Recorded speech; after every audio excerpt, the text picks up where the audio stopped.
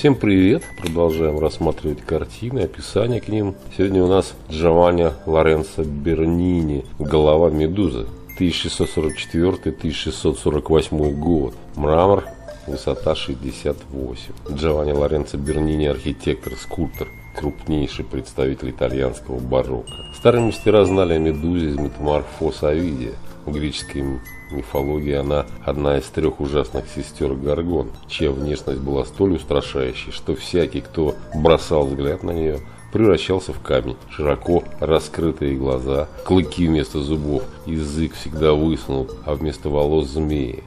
Медуза обезглавил Персей, но и после смерти голова Гаргона сохранила способность превращать камень. Это стало причиной ее изображения на щитах воинов и других предметов в качестве защитного талисмана. Берни не знал не только рассказ о виде, но и другие варианты мифа. По одной из версий Медуза имела прекрасные волосы и хотела состязаться с Афиной в красоте, но в наказании богини мудрости превратила их в змей а ее сделала смертной. Творец был знаком с поэмой своего современника Джованни Батисты Марина, в которой описывается, как Медуза, разглядывая собственное отражение в воображаемом зеркале, с болью и тревогой осознала свое превращение в мрамор. Жестокая усмешка исказила ее черты, и мастер в данной скульптуре запечатлел именно этот момент. В 2011 году изваяние было представлено в Москве, в музее Пушкина экспликации к работе справедливо отмечалось, что Марина и Бернини переосмыслили